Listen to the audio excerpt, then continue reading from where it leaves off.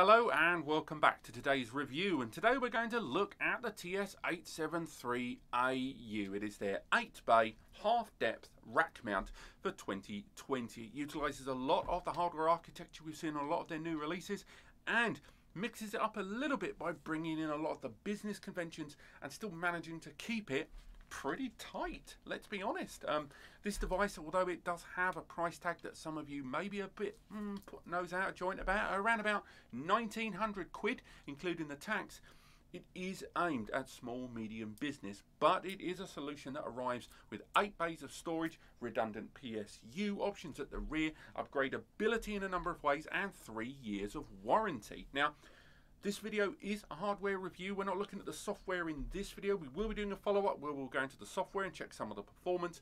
So if that's what you want, you might not get that from today's video. But what I will say is this is an impressive move by QNAP to move into um, a less showy way of doing their rack mounts. In the last few years, when we've seen a lot of their rack mount solutions, they seem to have come in two different flavors. We've had the ones at the bottom end generally ending in like the number 32 or something. And they've been a little bit lackluster. They've had great external performance, but they've been hinged a lot more on the affordability. We've seen a lot more cost effective solutions that arrive with hardware architecture that will hit a glass ceiling very early doors. And at the other end of the spectrum, they were releasing crazy town solutions, ones that were like Xeon, this, that, and the other. We saw a few Intel cores along the way, and for the most part, that middle ground wasn't really being serviced in my eyes. You were getting um, a few Celeron based solutions, which are always nice, but there wasn't a lot of them. There was only like three. And then you had the bottom end and the top end getting loads of solutions. So this is a nice middle ground device. It arrives with uh, an Intel Ryzen SoC based processor and it is the Intel Ryzen V1500B, a server grade processor which is a quad core at 2.2 gigahertz per core. It also arrives with 4 gig of DDR4 UDIMM memory that can be upgraded up to an astounding 64 gig of storage across two slots, of memory there across two slots. So in terms of virtualization, you have a processor there because it's an x86 64-bit processor from AMD. You have got virtualization covered with the likes of Virtualization Station and um, uh, Ubuntu. Uh, they've changed from Linux Station to Ubuntu Station there, or Ubuntu support. Um, on top of that, you've got container support, of course. Um, on terms of surveillance, you've got QVR Pro and Surveillance Station, as well as support of a myriad of IP cameras and USB cameras uh, alike in the webcam mode. On top of that, you have got a huge array of multimedia and business applications supported internally with file management being handled by FileStation, QSearch and Q filing. You've got the multimedia support as mentioned by PhotoStation, Video Station, Mu Music Station, as well as QuMagie and a myriad of third-party multimedia apps supported as well.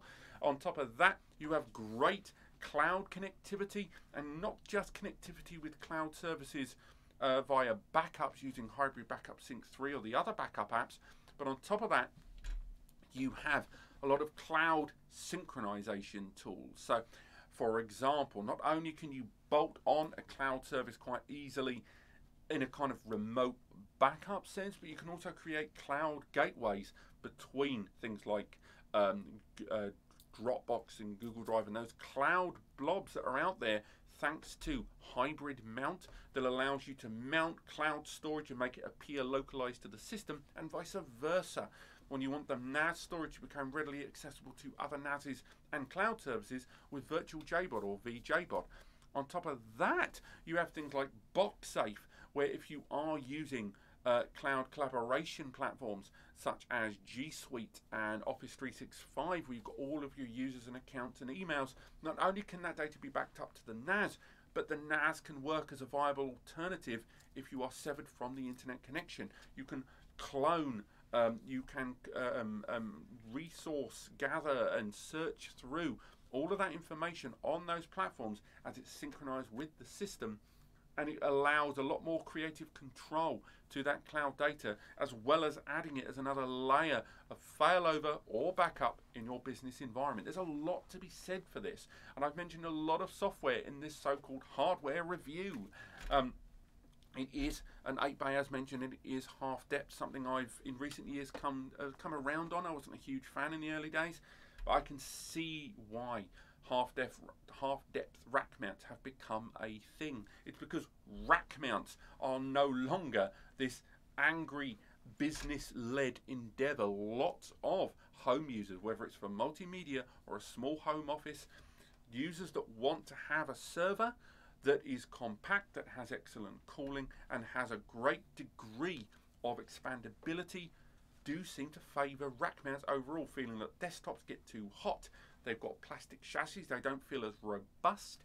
There's a big contingent towards these, and half depth rack mounts give you the kind of physical uh, stature you'd find in an 8 bay desktop, but with the rack mount sense of build quality. I mentioned build quality, it's got three years of manufacturer's warranty and a whole lot of expandability I touched on there at the beginning. Now, each one of those 8 bays is SATA, which means um, it supports up to the very latest 18 TB NAS drives from the likes of Seagate Ironwolf. Um, and again, 20 TBs are just around the corner thanks to Heat Assisted Magnetic Recording or HAMR. If you're a WD buyer, of course, you've got WD Red and their Energy Assisted Magnetic Recording or EAMR to consider down the line. Each one of the trays is metal and has screw holes two and a half inch and three and a half inch media included with the kit. Before I go any further, these are the accessories. And again, I've already taken out the box because the box is massive and it arrives with plenty of foam protecting it from shock damage in transit. Inside, quick start installation guide, warranty information, it's got three by default, expandable up to five years if you need. Uh, information on the warranty. You've got two plugs, it's got a redundant power supplier, and those are internal, which can be removed. And you have got a Cat5e cable for the network connections, and those screws for two and a half inch and three and a half inch media. Now, it is worth highlighting on this device that yes, it's a Cat5e cable, and a number of you are always kind of saying, well, it should be Cat6, Cat5e is slow. This has 2.5 GBE, Cat5e is fine. It's when you enter 10 GBE, you should be looking at those improved uh, RJ45 cables. There's no LCD panel there on the front. Um, it only has power button and mute buttons there for when the alerts are going off. The alerts the sort of alerts you might get from a device like this might be if there's a drive failure, if there's a power failure, network issues. It's effectively audio alerts, and it's nice to have the physical means to turn off. I kind of wish there was an LCD panel. That's probably one of my first gripes about this device. I've always liked QNAP's attitude towards LCD panels. I think for the sake of having an LCD, so you can just glance and know um, what's going on with your device. If you want to know an IP, so you can go straight into it manually without having to search around on your network uh, traffic. I like LCD, I'm surprised it doesn't have it, but maybe I'm in the minority. You don't need to fully populate this device, you can get away with just one drive if you choose, bit weird. But of course it supports RAID 0, RAID 1, RAID 5, RAID 6, RAID 10, RAID 50, RAID 60. They're all supported on this device. It uses the EXT4 QUTS or QTS platform. Doesn't have support of the ZFS uh, QTS Hero right now, but its architecture is similar enough, I believe, to a number of devices like the H973AX with the same CPU and memory architecture that I think it's not impossible that down the line this might get Hero, but that's by no means a guarantee. Um, if we have a look at the architecture on the rear, sorry about the noise near the mic, lift that up there have a look and on the rear there we can see a couple of PSUs straight away. Each one of those PSUs, they're rated down the rear as 300 watt, although I thought they were 250, so that's my mistake. Probably a mistake I made in the unboxing video now in hindsight. Um, a redundant PSU, for those that don't already know, it'll be a bit weird if you're watching this and you didn't know, a redundant PSU is the ability for your system to have basically a safety net, much like RAID has on hard drives you've got two connections there. You've probably got loads of network shares, be they you know LUN targets or just MAC drives or VMs or anything like that. All the myriad of different ways you might have users constantly accessing your NAS. Redundant PSU means that if the PSU fails, bearing in mind the power supply unit is the second most frail thing on any server after the hard drives, of course. It means that you can pull that drive out, which is included, by the way, in your warranty. So bear in mind, if this happens in those three years, you can just get a new one. They'll send you a new PSU. The system's still running on a single PSU. It doesn't need both of them They're just running all the time, and then when your new one arrives, slot it straight in. You can purchase a new one if you choose, so then you've always got one in the cupboard, and you don't even have to power the device off when reconnecting a new PSU. So it means zero um, downtime. It means you've got that fail safe there in the background, and you can have that replacement PSU round pretty quickly. I personally, if I'm using a rack mount, I would keep a spare PSU in a cupboard, but I appreciate that if it's in your warranty, you hope the brand will back you up, and QNAP should do that. Um, we've got a couple of cooling fans that we're going to see from the inside in a little while, and of course, we have got those connections there. Now, on the left-hand side there, we've got that little red connector. That is two USB 3.2 Gen 2 connections. That's 10 gigabit USB.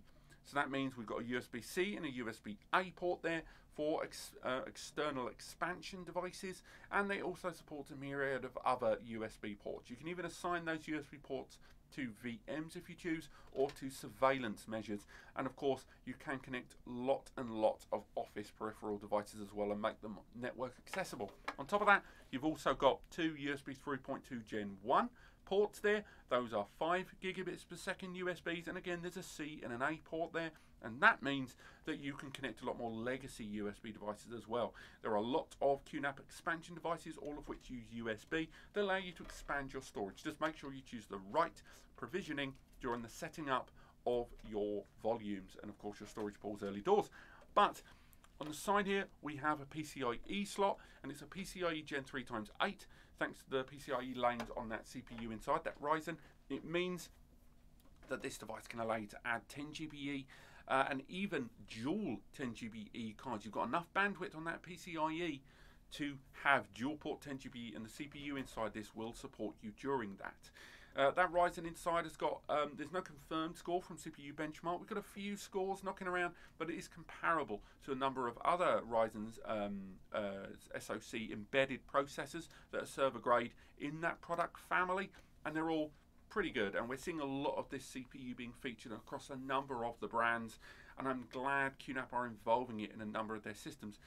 This is not the cheapest device for an 8B. 1900 NECA, including tax, is not a low price tag. But what I would argue is you are buying a server grade product in rack mount form, and particularly half depth, which generally in terms of construction makes a lot of a difference to the price tag. And you do see a lot of comparatively more expensive solutions in half depth when compared to their full depth rack mount alternatives. Now, the rear of this device is normally screwed in. I've already removed them prior to this. So if we remove the rear of the device there, put that there, you can see looking inside that half of the overall storage uh, physical space is being taken up by the drives there at the top. It's a lot of space being occupied just by the storage media. So this half depth rack mount, you, if you're worried about it all being crushed together, don't worry. It's very well spaced out. As you can see here, if I balance that there, so I can have a look at it better. For a start, we can see that memory. Hopefully the light's not going to go too crazy there. We've got the memory slots right there. And those memory slots, there's two of them. And each one of those UDIMM slots, again, will support a 32 gig DDR4 module in there. So 64 gig, which is going to be great for virtualization, and particularly for you guys out there that are going to be taking advantage of those larger speeds. Got a huge heatsink right there, covering the main CPU, that Ryzen that's inside, and that Ryzen based processor inside there. Again, there's no operational fan there. The fans are here at the base of the device and built into the top here to draw air over both the drives and with active cooling over all the internal processors, the PCBs and the transistors. Um, we've got that little um, flash module there, a 5 gig module. That is where the OS lives. This arrives with QTS 4.4, I believe. Uh, we're up to just recently got into 4.5.1, I believe, and of course that will be immediately available when setting the device up for the first time, but you've got to have some OS there on day one. We've got our PCIe slot over here, which is where our upgrade cards live, and again, you've got that 10 GBE connection. You can add NVMe and dual uh, combo cards. I've got 10G and NVMe SSD cache to improve the internal performance on this. And as mentioned, we didn't really touch on that on those rear ports there. You can see those two LAN ports right there, each of which is 2.5 GBE. Which means that with link aggregation, you've got a 5 GBE equipped NAS if you've got a rock the good, uh, managed switch in your environment, and up to 500 megabytes transmission over those two ports. But of course, each one of them can be used uh, kind of paired up in a failover architecture, or they can be utilized um, as completely independent connections. And that 250 megs each on a supported switch is something that can be shared by your connected users. QNAP have really embraced 2.5 GBE, and I'm glad that this solution is not 1G by default. I know a number of us have been talking about um, devices out there that have still got 1 GBE and how in 2020 that seems a touch rudimentary. I'm pleased I haven't gone down that road on this. Again, is it perfect? No, I don't believe it is. I think there's a few things about this device I'm not overly keen on. I think first and foremost, the lack of HDMI. I know obviously the PCIe lanes have been spread accordingly on this, but I think it would have been nice to have this HDMI enabled, given that that CPU does have that in it to be able to do GPU stuff. It's not an embedded GPU processor, but it can handle virtualization and surveillance. I think uh, HDMI out would have been handy on this to turn it into a more standalone interface when needed. Um, I think maybe the lack of M2 or NVMe inside. They've clearly made a choice in its architecture, asking users to um, go with the PCIe upgrade route rather than um, adding NVMe SSD caching bays inside and then lowering the PCIe gen to make up for it internally. But I think users would have preferred to have some form of SSD slot inside to improve internal performance because caching is becoming a very, very hot topic right now. Something QNAP themselves are highlighting in a number of ways. They're even looking into that QSAL technology with um, SSD failure prediction, monitoring, and uh, failure prevention. So I'm surprised we're not seeing more um, dedicated SSD bays inside this. But that's really it. I think the price tag might be a bit aggressive, but not much. Um, apart from that, I do like this as a rack mount solution, and I'm glad to see um, QNAP embracing um, a lot of the mid-range rack mount stuff a lot more, and not spending as much time at the low, low, low and the high, high, high range of their portfolio. Um, thank you so much for watching. I hope you guys have enjoyed this video. We will be doing testing on this very, very soon. So if you do have questions or queries or recommendations or things you want to see, do let me know. It's going to be recording in a few days, so I've got a bit of time there. Um, if you have enjoyed this, click like. If you want to learn more, click subscribe. And other than that, do visit the links in the description to both the hardware review and, of course, the guys at span.com to learn more about this device and, and get their free advice on whether this suits your needs. Other than that, I will see you next time.